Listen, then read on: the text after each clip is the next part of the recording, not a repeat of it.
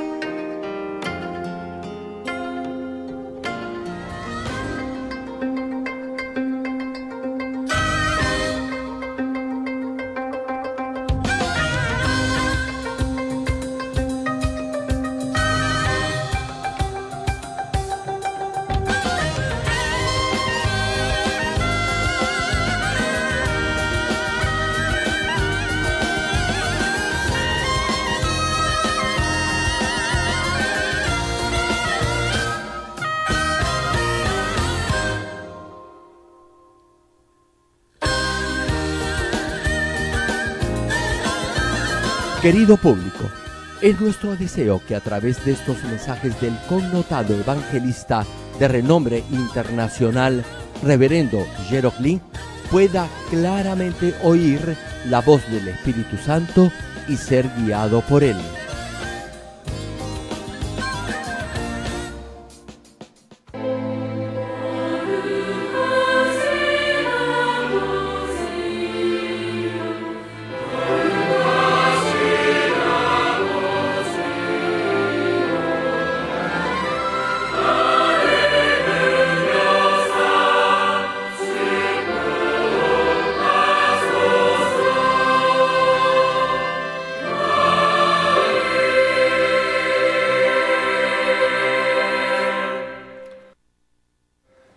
El pasaje bíblico de hoy, Romanos capítulo 8, versículo 12 al 16.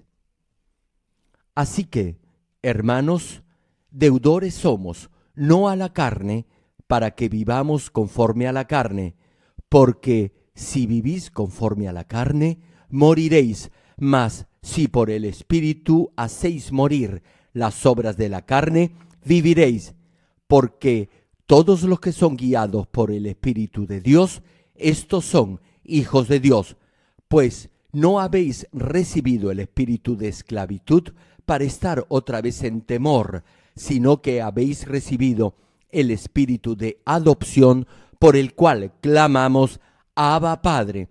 El espíritu mismo da testimonio a nuestro espíritu de que somos hijos de Dios.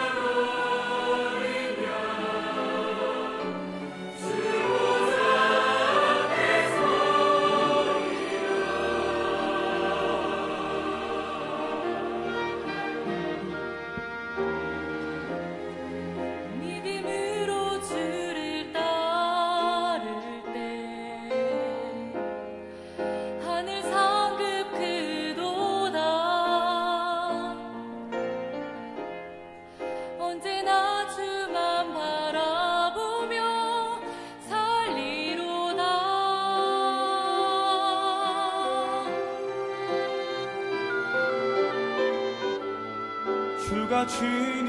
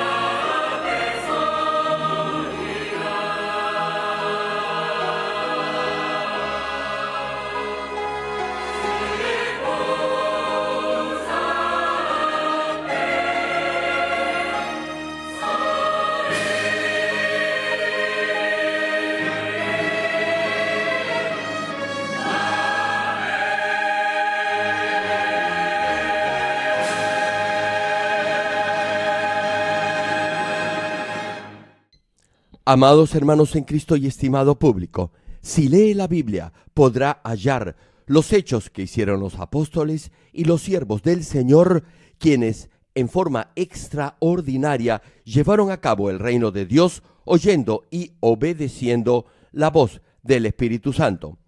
Hermano, ¿alguna vez ha pensado qué hubiera hecho usted si hubiera vivido en esa misma época? Obedecer la voluntad de Dios en cierto sentido es algo fácil, pero en otro puede resultar bastante difícil. Si obedece de todo corazón, le será muy fácil hacerlo. Sin embargo, si no tiene esa voluntad para obedecer, le será difícil.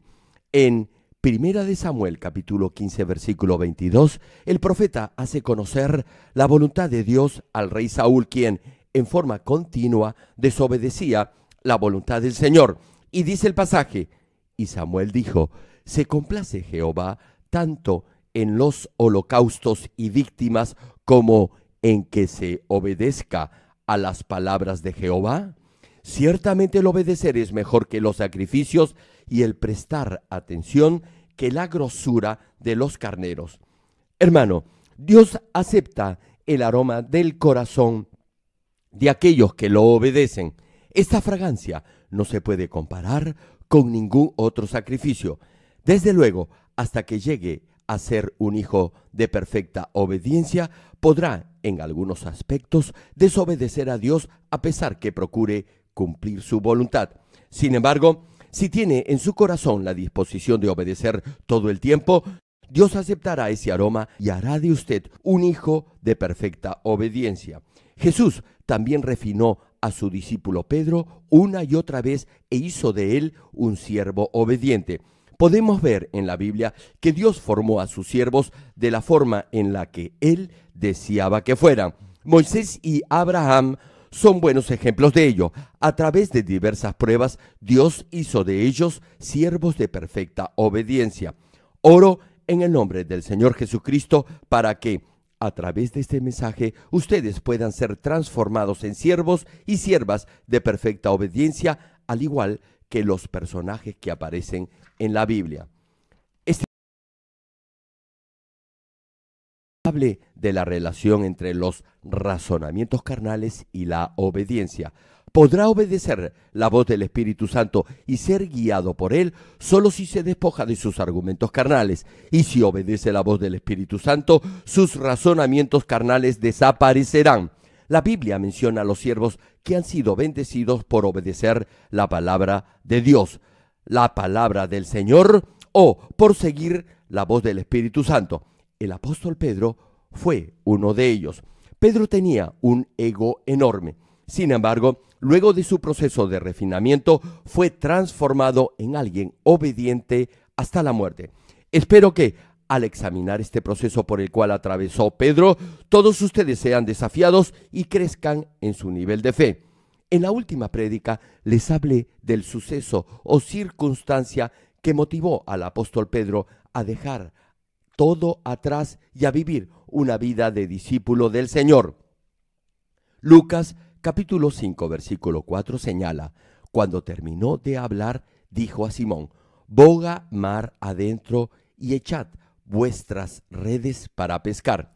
Hermanos, Pedro conocía más que ningún otro el mar de Galilea. Sin embargo, abrió su mente dejando atrás todo su conocimiento y experiencia humanos. Obedeció la palabra del Señor y producto de ello atrapó tal cantidad de peces que su red empezó a romperse. Al ver esto, Pedro cayó de rodillas delante del Señor y le dijo, apártate de delante de mí porque soy un hombre pecador. Es decir, abrió completamente su corazón a Jesús y decidió ser su discípulo, dejando atrás toda su vida pasada. Estimado público, luego de haber escuchado la palabra de autoridad de Jesús, el apóstol Pedro abrió su mente y pensamientos y así pudo obedecer la palabra del Señor. Y debido a su obediencia, experimentó el prodigio de la pesca milagrosa. A través de ese hecho, sus argumentos carnales simplemente desaparecieron. Desde ese momento su vida cambió. Hermanos, hasta ahora han escuchado la palabra pura de Dios, infinidad de prédicas y mensajes. Asimismo, han sido testigos de numerosas señales y prodigios y también las han experimentado en su propia vida. En esta iglesia se ven señales y milagros todo el tiempo y ahora muchos toman eso como algo normal y natural y no le dan la debida importancia no deberían hacer eso. Les hago una pregunta. ¿Su vida ha cambiado? ¿O siguen viviendo como lo hacían antes de aceptar al Señor como su Salvador? Los que, en verdad, han aceptado al Señor en su corazón vivirán una vida totalmente diferente. En primer lugar, se habrán arrepentido de todo corazón de sus pecados pasados y se habrán apartado de ellos. Hermano, ¿ha dejado o no de pecar? ¿Ama ahora a Dios más que las cosas del mundo? Cuando Pedro dijo, apártate de mi Señor porque soy hombre pecador, eso quería decir que reconocía sus pecados. El verdadero arrepentimiento viene solo cuando reconoce y acepta que es pecador y luego de hacerlo deberá dejar de pecar. Además, como le debe su vida al Señor, deberá serle fiel a Él con toda su vida. Romanos capítulo 6, versículos 12 y 13 señala al respecto, no reine, pues, el pecado en vuestro cuerpo mortal, de modo que lo obedezcáis en sus concupiscencias, ni tampoco presentéis vuestros miembros al pecado como instrumentos de iniquidad, sino presentaos vosotros mismos a Dios como vivos de entre los muertos, y vuestros miembros a Dios como instrumentos de justicia. Hermanos, una pregunta. ¿Ha vivido de la manera como dice este verso? ¿O tal vez sigue viviendo en el pecado y atado a ciertas pasiones carnales? Si todavía no se esfuerza en cambiar su vida para bien, lo exhorto a que lo haga de inmediato. Pregúntese si tiene fe en Dios o no entonces podrá darse cuenta de cómo su propia forma de pensar le impide tener verdadera fe, vale decir, una fe espiritual, una fe con obras, no solo de boca. Podrá obedecer la voluntad de Dios solo si se despoja de sus argumentos mentales o pretextos y si tiene fe espiritual. Más aún, únicamente podrá tener esta clase de fe si obedece la palabra de Dios hermanos y hermanas en Cristo.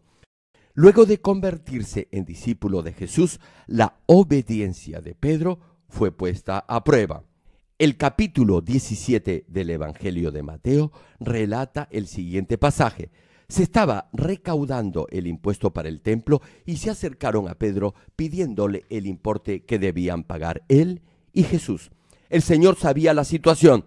No obstante, no le dio a Pedro directamente el dinero para pagar, solo le dijo lo siguiente, ve al mar y echa el anzuelo, y el primer pez que saques, tómalo y al abrirle la boca hallarás un estatero, que era una clase de moneda. Tómalo y dáselo por mí y por ti.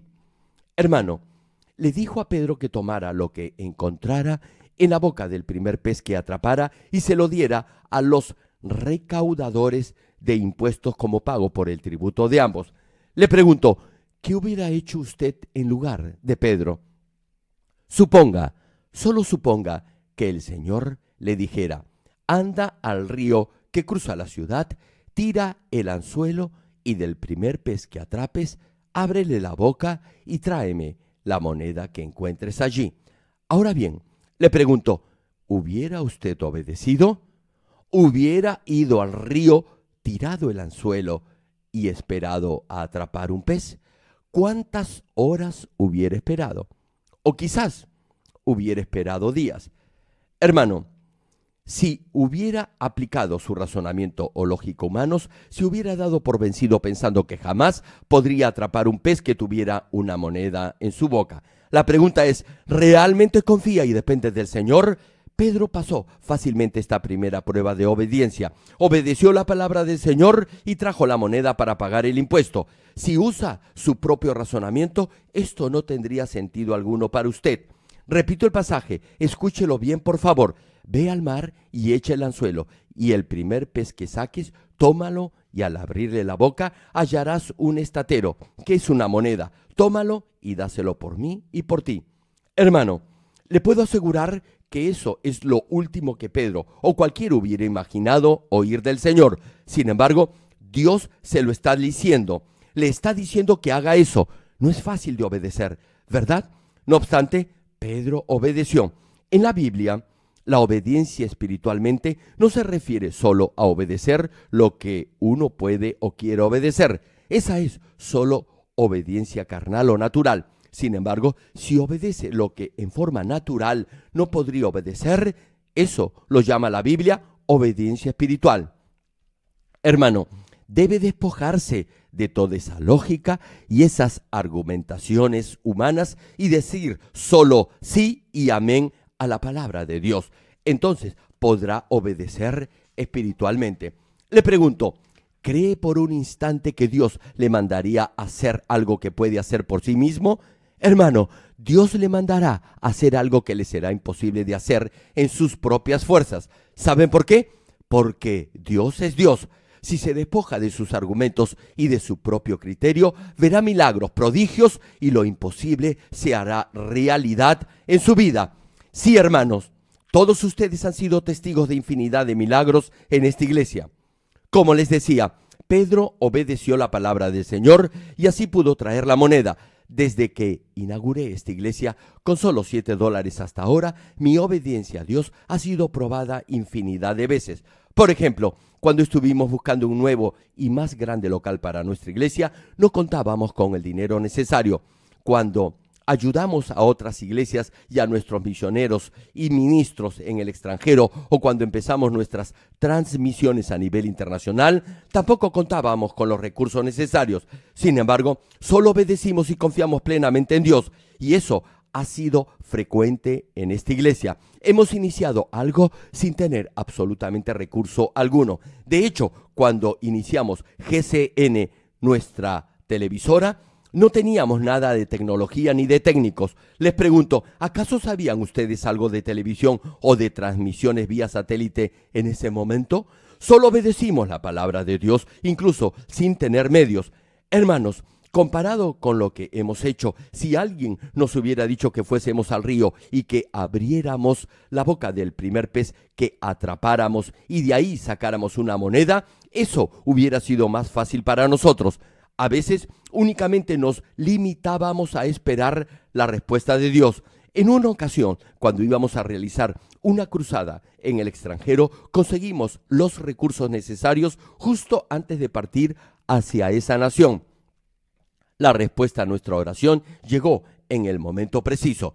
Sin embargo, si obedecíamos a Dios sin duda alguna, Él iba a responder milagrosamente. El dinero para la construcción del santuario de Canaán es el fruto que Dios nos ha dado al ver nuestra fe y obediencia.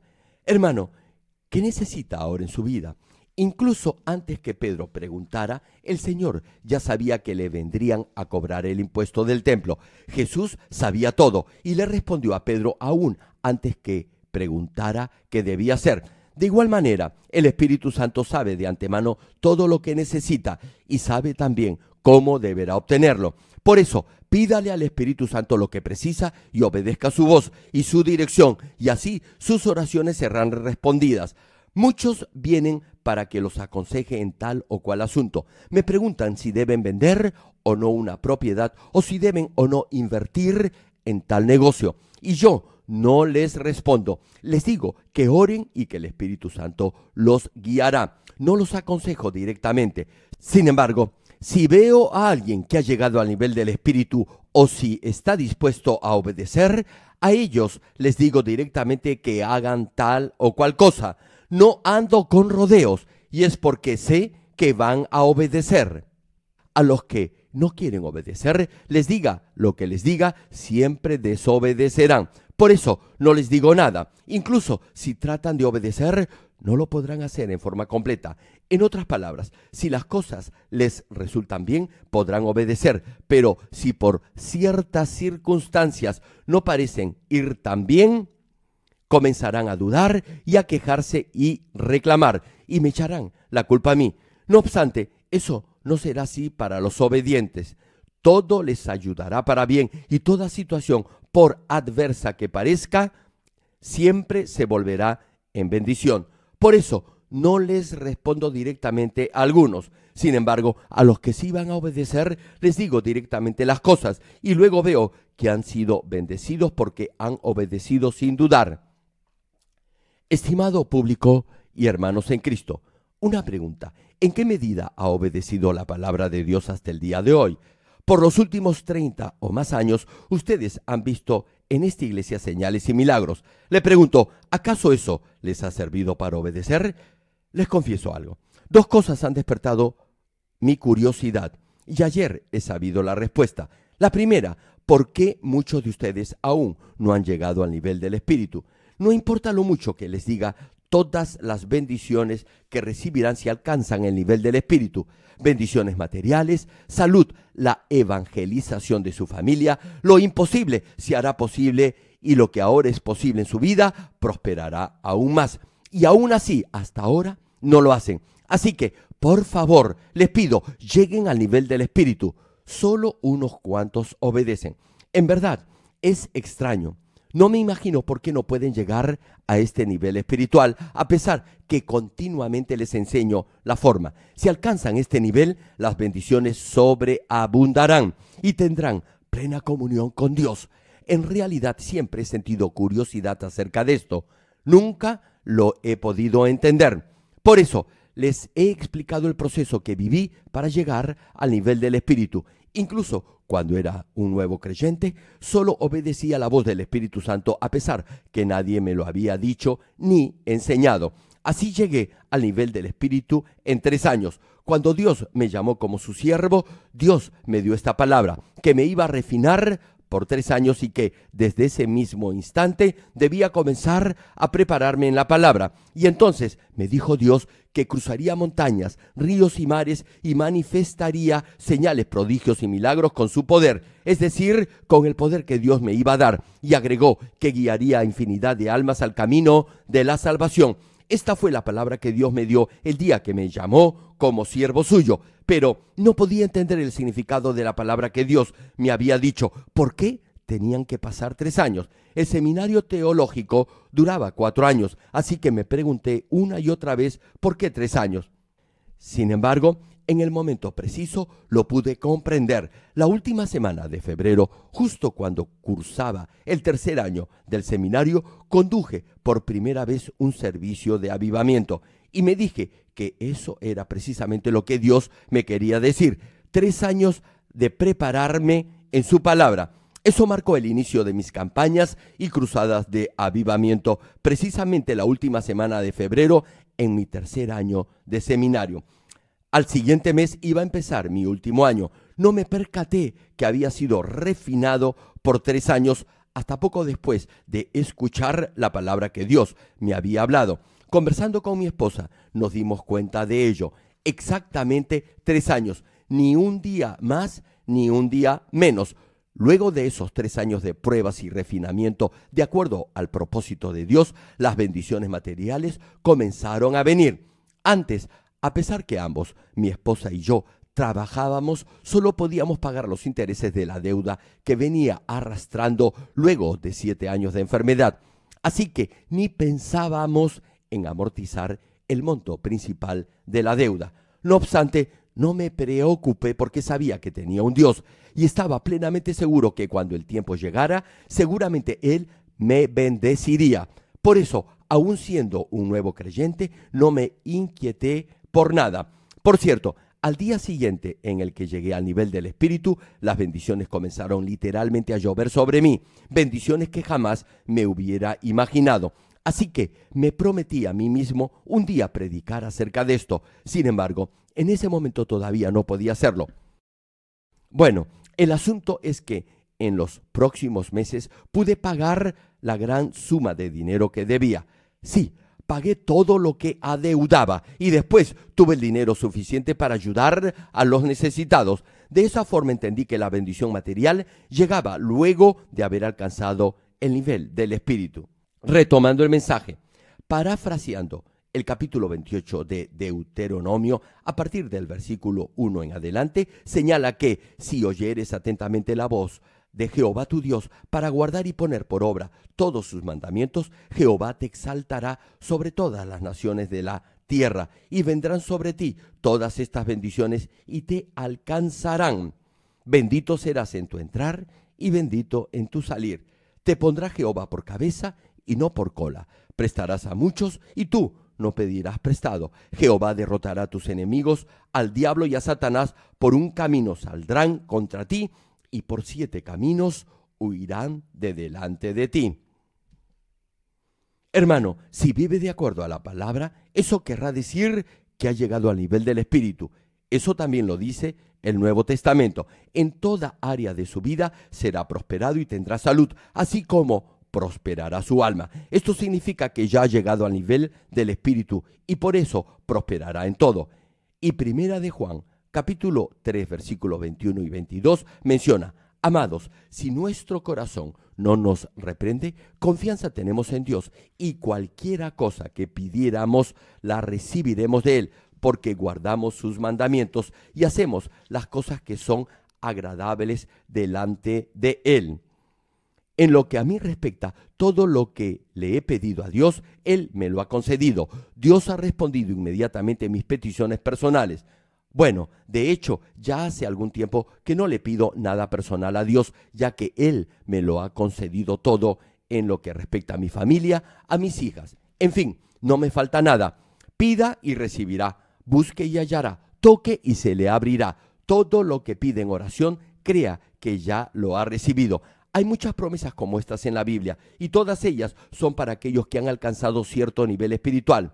Otro ejemplo, estas señales seguirán a los que creen. Es decir, esas señales seguirán a los que han llegado al nivel del Espíritu. Ustedes han experimentado todo esto muchas veces en su vida y saben a ciencia cierta que esas señales siguen a los que han alcanzado el nivel del Espíritu.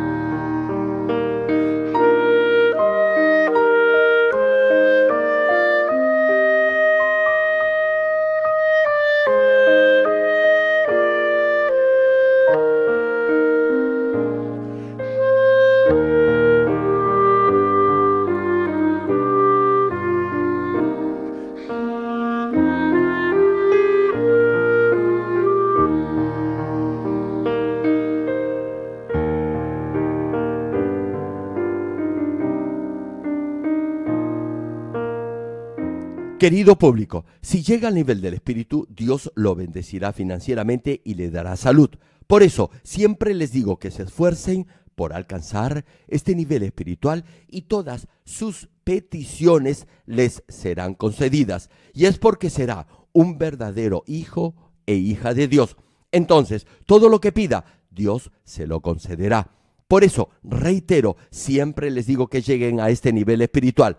A pesar de mis ruegos, son pocos los que han alcanzado este nivel. Es extraño, pero me pregunto, ¿por qué no me hacen caso? Esta ha sido y es mi eterna interrogante. Otra pregunta que me hago, ¿por qué algunos por los que oro son bendecidos inmediatamente mientras que otros no lo son? Son muchos los que son bendecidos luego que oro por ellos y oímos sus testimonios. Sin embargo, hay algunos por los que oro varias veces y Dios no los bendice. Esta es otra pregunta que siempre está en mi mente, pero ayer recibí la respuesta. Hermano, ¿qué es lo que más necesita en este momento? Como ya les he dicho, incluso antes que Pedro supiera que le iban a cobrar el impuesto del templo, Jesús ya lo sabía y le dio la respuesta y la salida al apóstol Pedro antes que él le preguntara qué cosa hacer. De la misma forma, el Espíritu Santo lo sabe todo, conoce sus circunstancias y la forma en la que puede obtener lo que tanto desea. Por eso, pídale al Espíritu Santo todas sus necesidades y solo obedezca su dirección para que Dios responda a sus peticiones. Hermanos, Pedro obedeció y lo hizo sin cuestionar ni arguir pretextos. Por ello, mereció ser el primero de los doce apóstoles. Y Jesús confió más en él que en los otros once. Yo también busco a aquellos que pueden obedecer, sea hermano o hermana, y he encontrado a algunos. Los que tienen esa disposición para obedecer, los que han cortado con el mundo y que están dispuestos solo a obedecer, son unos pocos. Estaré con ellos hasta llegar todos juntos a la nueva Jerusalén. Retomando el tema. Sin embargo, en algunas ocasiones Pedro todavía empleaba su propio criterio, es decir, hacía las cosas de acuerdo a su propia forma de pensar y por eso no podía obedecer. Mateo capítulo 14, versículo 22 al 33 nos narra un pasaje por demás interesante. Jesús está caminando sobre las aguas yendo hacia la barca donde se encontraban sus discípulos. Al ver a Jesús, Pedro le dijo, Señor, si eres tú, manda que yo vaya a ti sobre las aguas. Así que el Señor le dijo, ven. Y descendiendo Pedro de la barca, dice la escritura, andaba sobre las aguas. Una pregunta, ¿Pedro obedeció o no? Sí lo hizo, pero solo hasta cierto punto. Pero al ver el fuerte viento, dice la palabra, tuvo miedo. Es decir, empezó a razonar en forma carnal y se dijo, ¿qué tal si me ahogo? Por eso no pudo obedecer la palabra de Jesús, quien le había dicho que viniera hacia él. Comenzó a hundirse. En el instante en el que Pedro empezó a dudar, su obediencia ya no fue obediencia. A pesar que ya estaba andando sobre las aguas, en el momento en que dudó, comenzó a hundirse porque ya no estaba obedeciendo. Tal vez podría haber pensado que si obedecía podría hundirse, pero fue todo lo contrario empezó a hundirse porque comenzó a dudar. Por eso Pedro no pudo obedecer. Hermano, si cree, obedecerá por fe y no dudará. Es lo mismo en los negocios. Ya les he dicho anteriormente, si alguien que no ha llegado al nivel del espíritu me pide consejo para hacer o no hacer algo, yo jamás le respondo en forma directa. ¿Sabe por qué? Porque si no sigue mi consejo podrá tener mayores problemas. Y si aún obedeciendo, no le va tan bien, podría quejarse contra su pastor o dudar de lo que le he dicho. Hermanos, hay ocasiones en las que aún si las cosas no van bien, al final podrá ser prosperado si no duda ni se queja. Eso es si tiene una perfecta fe, pero si no la tiene, no podrá obedecer. Por ello, no responde en forma directa. Continuando con el pasaje de Pedro, Mateo capítulo 14 versículo 31 dice lo siguiente, Al momento Jesús, extendiendo la mano, asió de él y le dijo, Hombre de poca fe, ¿por qué dudaste? Hermano, aquí podemos ver que aun si uno quiere obedecer, no lo podrá hacer completamente si sigue su propio razonamiento o criterio. Hoy en día hay quienes empiezan un negocio pensando que de esa manera podrán contribuir al reino de Dios. Y luego me preguntan qué clase de negocio les aconsejo hacer para tener éxito. Su intención inicial ha sido buena. No obstante, si las cosas no van como esperaban, en un inicio o si enfrentan dificultades propias de la economía del país, etc., algunos cambian y comienzan a aplicar su propio criterio. Dudan e incluso cambian de giro en el negocio. Recurren a los métodos del mundo porque no pueden confiar completamente en Dios y eventualmente hacen cosas ilegales e indebidas a fin de lograr cierto éxito monetario. De igual forma, no importa lo mucho que desee obedecer la palabra de Dios, no lo podrá hacer a menos que se despoje en forma total de su propio criterio o razonamiento carnal.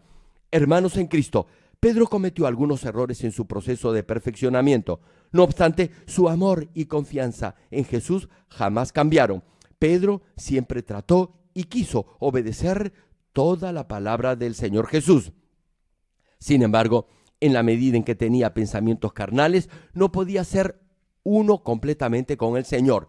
En Mateo capítulo 16 leemos un pasaje donde Pedro debe haber sentido esto en forma particular. Un día Jesús les pregunta a sus discípulos quién creía la gente que él era. Luego de escuchar sus respuestas, él les preguntó lo siguiente en Mateo capítulo 16, versículos 15 y 16. Él les dijo, ¿y vosotros ¿quién decís que soy yo? Y Pedro le responde correctamente. Continúa el versículo. Respondiendo Simón Pedro, dijo, Tú eres el Cristo, el Hijo del Dios viviente. Por eso Jesús elogió a Pedro y le dio una palabra de bendición. Pero poco después de eso, Pedro fue severamente reprendido por el Señor. En ese momento, Jesús comienza a hablar de todos los sufrimientos que debía padecer en su muerte, en la cruz y en su resurrección. Mateo capítulo 16, versículo 22 narra lo que sucedió inmediatamente después de eso. Y cita el pasaje. Entonces Pedro, tomándolo aparte, comenzó a reconvenirle, diciendo, Señor, ten compasión de ti, en ninguna manera esto te acontezca.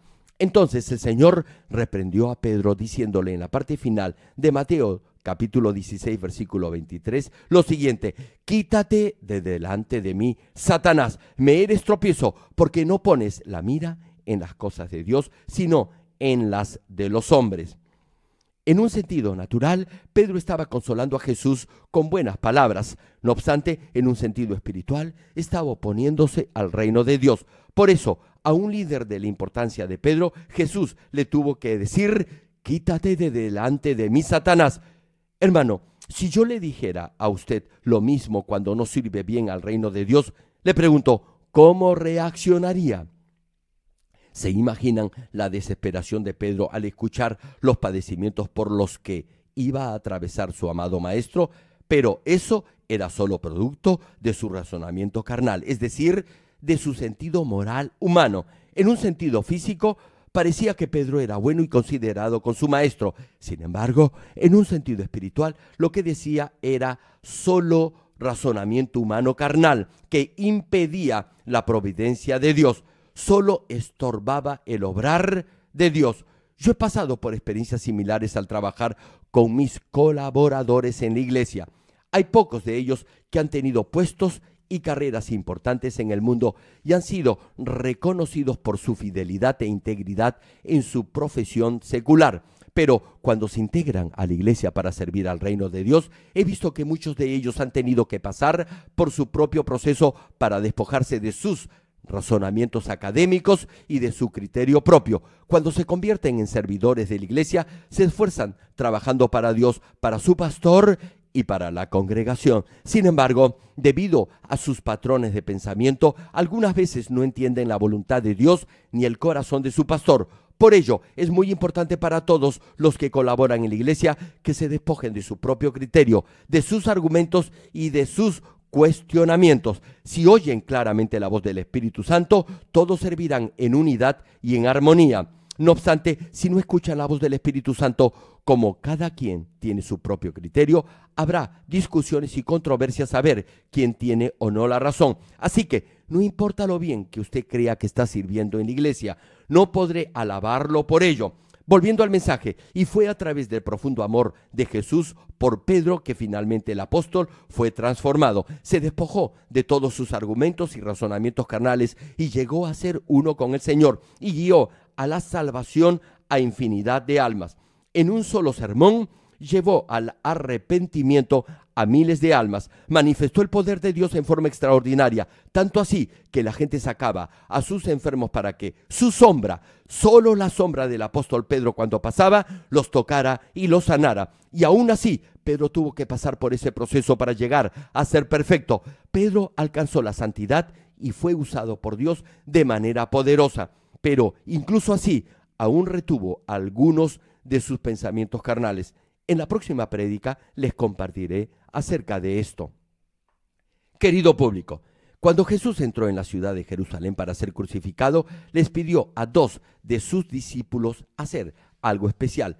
Lucas capítulo 19, versículo 30 narra este hecho, diciendo, Id a la aldea de enfrente y al entrar en ella hallaréis un pollino atado, en el cual ningún hombre ha montado jamás.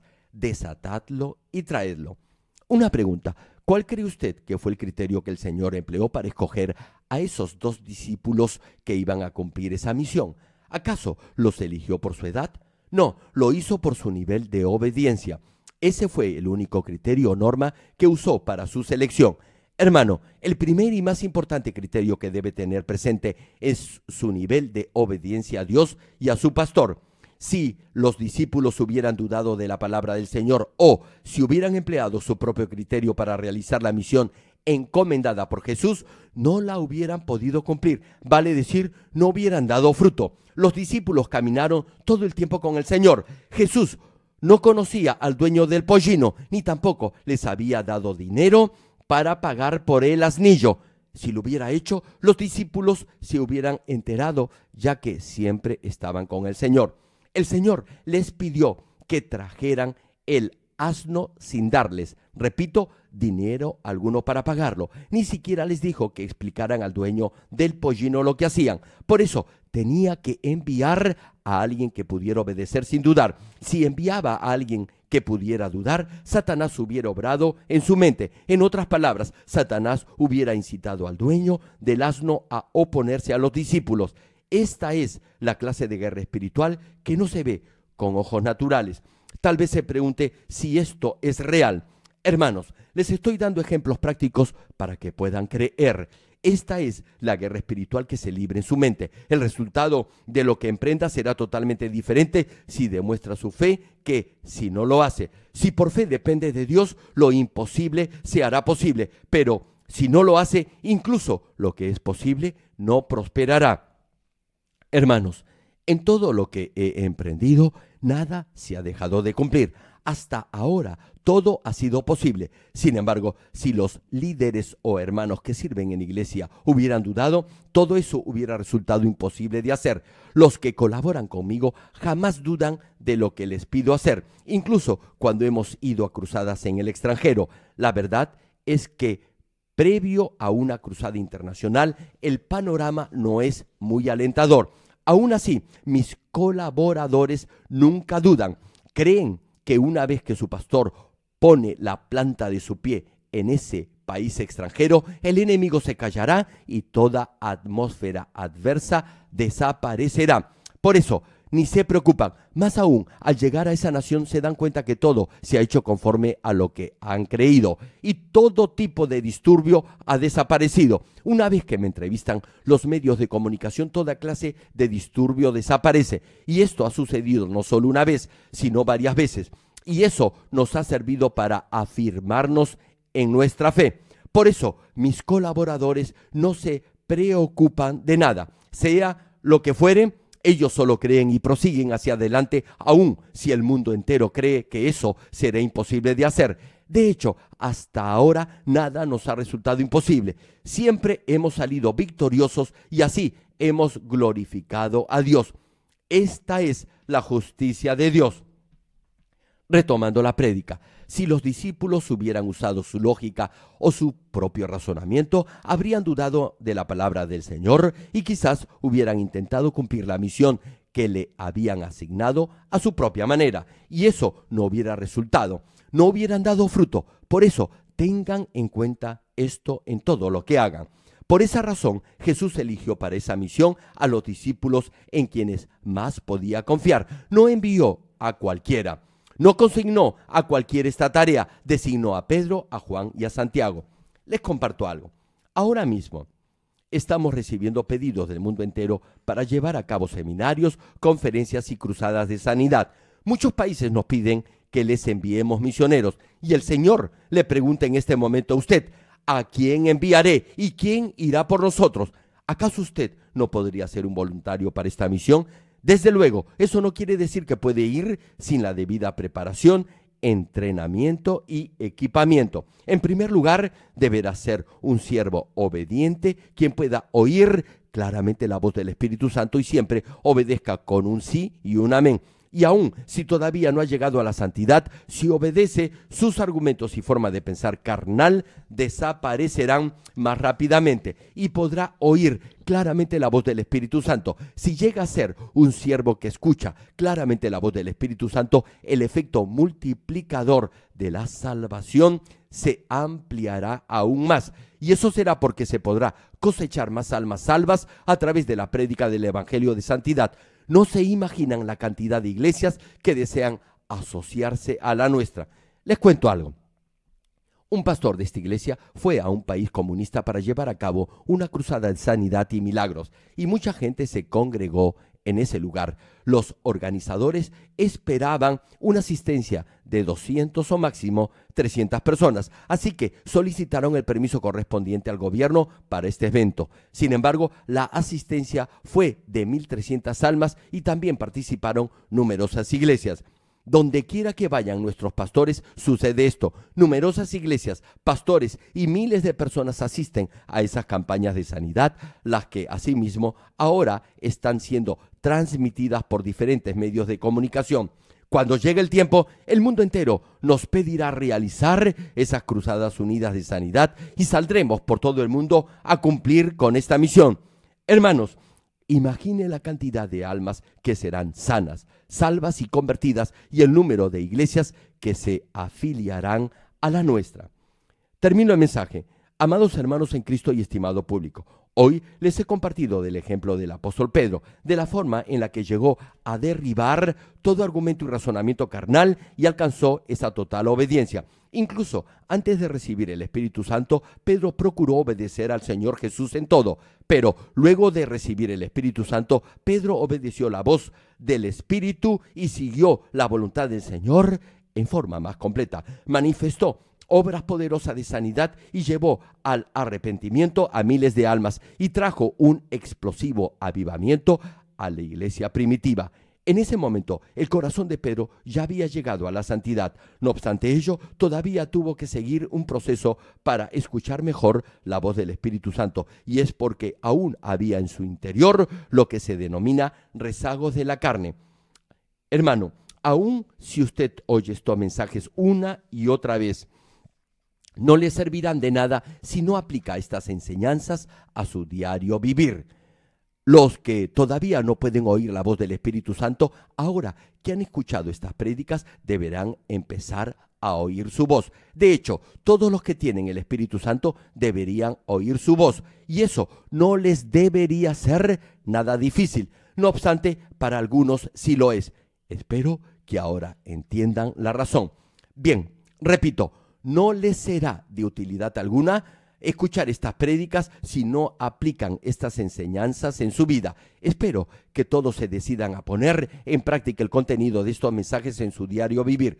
Oro en el nombre del Señor Jesucristo para que todos lleguen a despojarse de esos razonamientos carnales como el apóstol Pedro y prosigan hacia adelante como siervos fieles llenos del Espíritu Santo. Ahora oremos todos juntos en voz alta meditando en el mensaje de hoy. Aleluya. Dios, gracias por tu amor y misericordia. Haz que el mensaje que se ha predicado hoy se haga fe y vida en cada uno de tus hijos. Bendice a tus hijos para que puedan oír la voz del Espíritu Santo y ser guiados por Él. Padre, obra en cada uno de ellos. Haz que puedan entender la razón por la que no oyen la voz del Espíritu ni son guiados por Él. Si no obedecen tu palabra, no podrán escuchar la voz del Espíritu Santo ni podrán recibir su dirección. Solo podrán oír claramente la voz del Espíritu Santo si en realidad creen y obedecen la palabra de Dios, si se despojan de toda forma de maldad y se despojan de todo pensamiento y razonamiento carnal. Cuando se hayan despojado de todo lo mundano, la gracia de Dios vendrá sobre ellos y así podrán oír la voz del Espíritu Santo. Padre, ayúdalos a oír claramente la voz del Espíritu Santo y a ser guiados por Él. Gracias, Padre. He orado en el nombre del Señor Jesucristo. 아멘.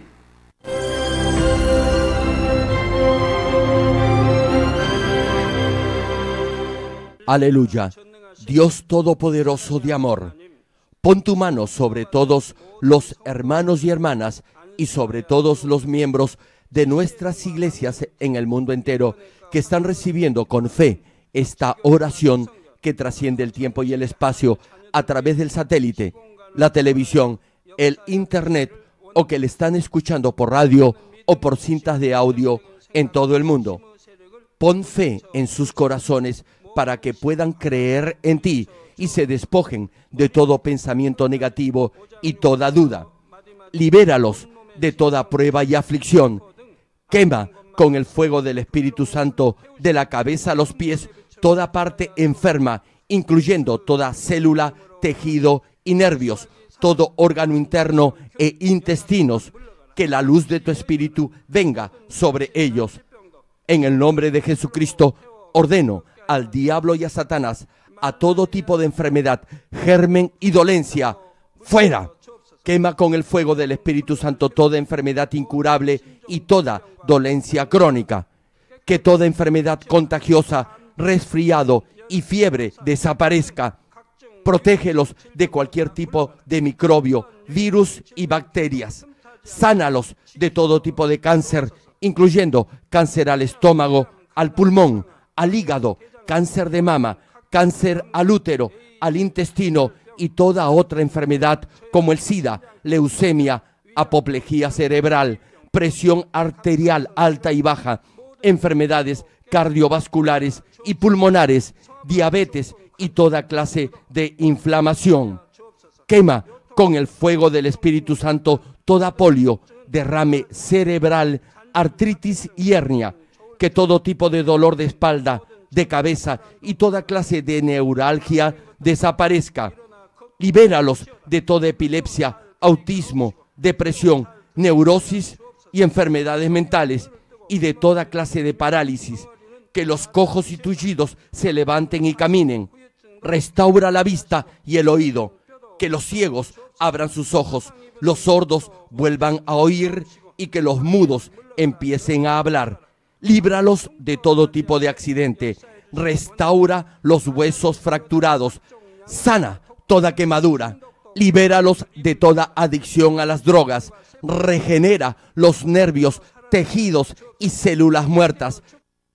En el nombre del Señor Jesucristo, ordenó al diablo y a Satanás, al príncipe de la potestad del aire y a toda fuerza del mal, fuera todo espíritu maligno, inmundo, de engaño, espíritu de mentira, espíritu de división, de tentación y todo otro espíritu de iniquidad, fuera. Ato a toda fuerza de la oscuridad y de maldad y que la luz de tu espíritu descienda sobre ellos. Padre, fortalécelos para clamar en oración y dales poder para desechar todo pecado y llegar a la santidad. Que tengan salud, que sus almas prosperen que sus familias sean evangelizadas y vengan al Señor. Protégelos de todo tipo de accidente y bendícelos para que tengan una vida de éxito y próspera en todo. Guarda y protege a todos tus hijos y sus hogares, centros de trabajo y negocios con el muro de fuego del Espíritu Santo, con tus huestes celestiales y tus ángeles. Da a los estudiantes sabiduría y perseverancia y pone en sus corazones el anhelo de estudiar y progresar Guarda sus corazones y pensamientos de todo lo mundano y siembra en ellos un ferviente amor por el Señor. Dios, bendice a tus hijos y que todo lo que hagan sea para gloria tuya. Que con toda confianza puedan testificar que han conocido al Dios vivo y que tú has respondido sus oraciones y los has bendecido. Gracias Padre por haber escuchado nuestra oración. Toda la gloria sea para ti. He orado en el nombre de nuestro Señor Jesucristo. 아멘. ¿Qué debe hacer para oír la voz del Espíritu Santo y ser guiado por Él? El Espíritu Santo, que entiende y escudriña el corazón de Dios, vive en nuestro corazón y hace de él su templo o morada.